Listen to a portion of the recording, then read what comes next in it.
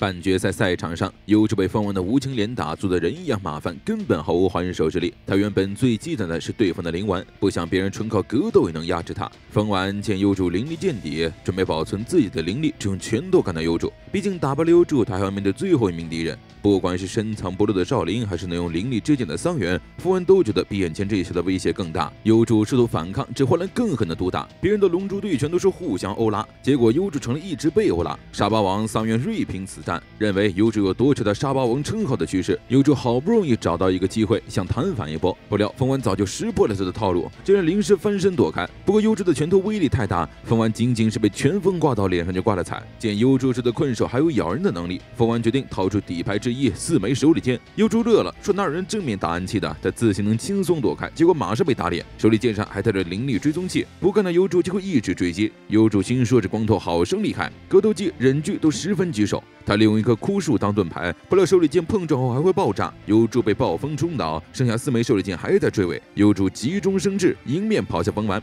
大家都以为他想跟对方同归于尽，风丸并不慌乱，他举起使出灵丸，想要在幽助逼近近前将其轰飞。不料幽助忽然凭空消失，风丸猝不及防，只能用灵丸轰飞上来的手里剑，结果引发一场近距离爆炸。风丸被爆炸冲飞，倒地落败。他无论如何也想不明白幽助到底去哪儿了。桑原和牡丹也到处寻找，土豆说这小子学会隐身了。刚往地上一瞧。发现优助躲进了泥坑，桑原说：“可以呀，柱子哥，这一切都在你的计划之中吗？”优助表示没那回事，他单纯的跑一半掉坑里了，结果白捡了一场胜利。都说运气是实力的一部分，风丸也学牙也说：“虽然你胜之不武，但我心服口服。老贼，今天的盒饭给我加鸡腿呀！”不容大家多想，花海宣布赶紧进行下一场比赛，半决赛争霸之桑原对战少林。优助心中寻思：嘉定乱童在的八位参赛选手中，首先派出自己，因为优助知道他不是战败的五人都没有现原形，那么乱童极有可能是桑原或者少林。桑原才灵气大爆发，有主觉得他嫌疑不小。少林打着全程藏在黑暗里，也可能有猫腻。到底谁是好人，谁是狼？就用热血战斗来见真章吧。比赛开始，桑原选手气势不俗，率先打出右刺拳，当场把少林作飞。这一下把桑原都打懵了，对方也太好做了吧？少林不服输，两个人继续交手。结果桑原占尽上风，打得少林嗷嗷叫。桑原没想到自己这么厉害，得意的仰天大笑。终有一天，他不是沙包，而是打沙包的人了。牡丹和优助一致认为，桑原多半是乱通假扮的没跑了，因为这少林实在是太弱了。优助纠结起来了，桑原可是他的好兄弟，让他大义灭亲干掉桑原，实在是难以下手啊。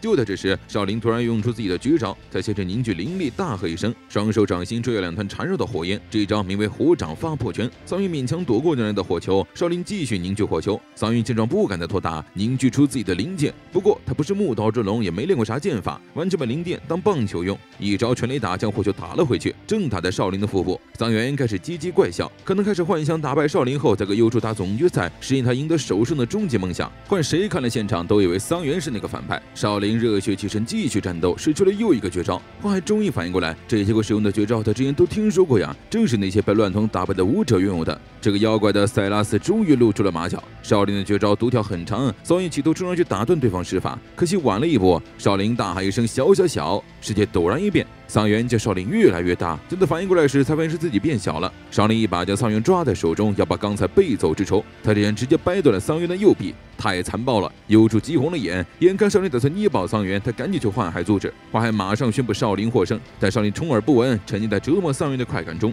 幽助再也看不下去了，气冲冲地冲上去，少林就把桑原扔进草丛里，让牡丹赶紧来帮幽助找人。可桑原变得这么小，一时间难以找到。报复完对手的少林心情大好，解除了法术，想看看桑原变成了什么样子。恢复正常大小的桑原双手俱废，左腿和肋骨都断了，实在是惨不忍睹。众人都很伤心，桑原却笑着说：“就算骨头断了，男子汉桑桑原也不会死。幽助呀，我还没有赢你呢。”说罢，脑袋一歪，晕死过去。桑原的惨败填满了幽助的怒气槽，他是要打败少林，不是乱通。幻海没有浪费时间，直接宣布进入总决赛。优助怀着杀死对手的愤怒，率先发起了攻击。乱童没想到优助的拳头比桑渊更狠，自己只挨了一拳就被打飞了五十多米，腿都不听使唤了，竟然被打出了硬直。优助乘胜追击，一个左勾拳，一个右正蹬，打得乱童眼冒金星。乱童惊讶地发现，原本大家都以为他强弩之末的优助，竟然在连番苦战中实力飞速提升，就跟带了征服者一样，越打越强。乱童知道格斗是自己的弱项，赶紧掏出来他偷的九十九种绝招之。之一斩空裂风阵。看到这一幕，最震惊的是幻海，新出的妖怪真会偷啊！偷来的全是顶级绝招。乱瞳乘风而起，放出一道道风之阵。幽助硬扛了一两招之后，发现风刃威胁不大，胜在数量多。只要他硬顶风刃逼近乱瞳，就能打断他的施法。这招主打一个莽，但效果很好。乱瞳被幽助从天上摁下去，一记李莲花打倒。幽助大获全胜，赢得冠军。牡丹一个劲儿夸幽助猛，说有你这个好哥们报仇，桑园死也瞑目了。桑园表示，我觉得我还能抢救一下。花海提醒幽助，战斗还没有结束。话音刚落，就听见乱瞳的声音再次传来，少林的身体化作脓水消失，地面龟裂，仿佛地狱之门开启，一道恐怖的血光从天而降，乱瞳的真身降临人间。幽助已经是强弩之末，却依然撑着要继续战斗。话说小阎王每次给他安排的任务都是越级打 BOSS，这不是故意想玩死幽助吗？幽助毅力大爆发，一顿雨点般的拳头打到乱瞳身上，这大怪连眉头都没皱一下，心说小伙子你刮痧呢。等幽猪打累了，轮到乱童出马，他爆发灵力，口中喷出无数妖气丝。话还表示，哪怕在妖怪里，能制造妖气丝都是万中无一的天才。这些妖气丝缠绕着幽助，乱瞳再一拉，丝线就变成了粗线，将幽助缠了起来。乱瞳本来可以轻易的勒死幽助，但他觉得这样不解气，便学着牙野抡起幽助玩大风车，让他亲自感受一下妖气丝的强韧，不会断哟，就算把你射成肉酱也不会断。牡丹见幽助一直在挨打，哀求幻海帮忙。幻海表示，一旦他插手，就意味着幽助赢了，到时候他的绝招就归乱瞳了，这是束缚呀。大家只能寄希望于幽助的主角光环。乱玩腻了大风车以后，又把幽助挂在水坑边的树上，实验他另一个绝招。他继续念咒读条，很快水坑里出现了一群鱼影。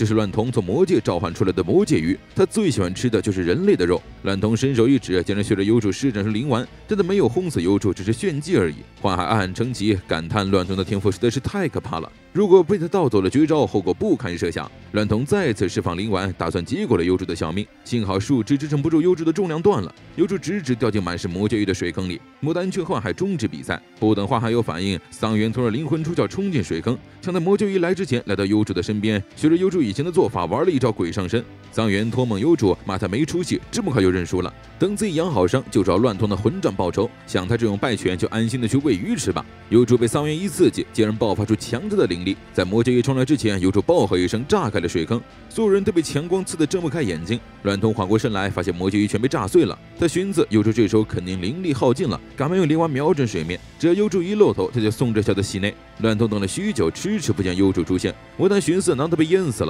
乱瞳高度警戒水坑，没想到沼泽地内部是相通的。幽助仗着水性好，从乱瞳背后的水坑里跳出来，拼尽最后的力量发射灵丸。乱童的反应很快，赶忙回身发射灵丸对轰。但他没有想到，幽助换水坑最直的作用是调整站位，左边对波必败无疑吗？才怪嘞！乱童今天就要打破日漫对波定律，他灵力大爆发，直接蒸发了一个水坑。提起拳头，把幽助好一顿揍。若不是乱东挨了幽助一发灵丸，伤势过重，严重削弱了力量，刚才这几拳就已经把幽助给锤死了。纵然如此，幽助也是伤得躺倒在地，动弹不得，变成了案板上的鱼肉。以上就是本期内容，喜欢的小伙伴别忘了点赞、评论支持一波哟。下期视频我们再见。